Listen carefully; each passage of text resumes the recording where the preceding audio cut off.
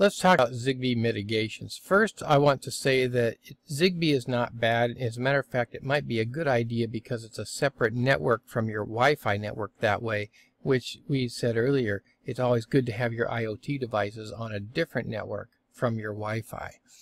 So, Zigbee mitigations. First of all, disable joining on the network so that rogue devices can't just join your network uh, easily.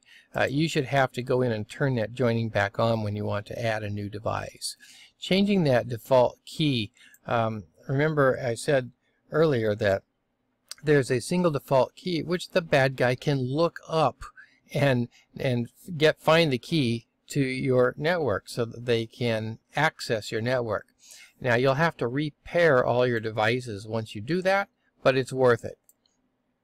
Use highly secure apps with no auto login. So in other words, the app on your phone, if you're going to be controlling things like the security of your home, you certainly don't want that app to automatically log in so that anybody who finds your phone can uh, log into your home security system. Uh, and don't allow voice control over insecure devices, Alexa, OK Google, Siri, and so on. Uh, voice control uh, is not what it's cracked up to be. As a matter of fact, I know a story of a.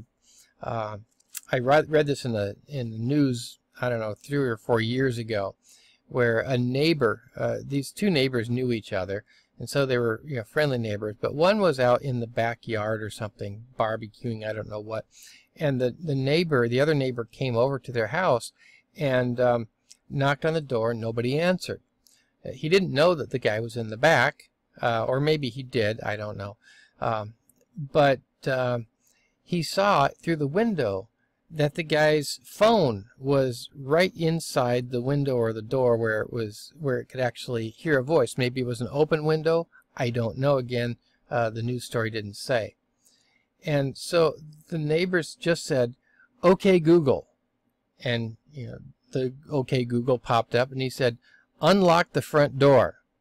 And the door unlocked and he walked in. These voice control devices can be a real um, a real weak point in such systems as uh, Zigbee uh, home security programs.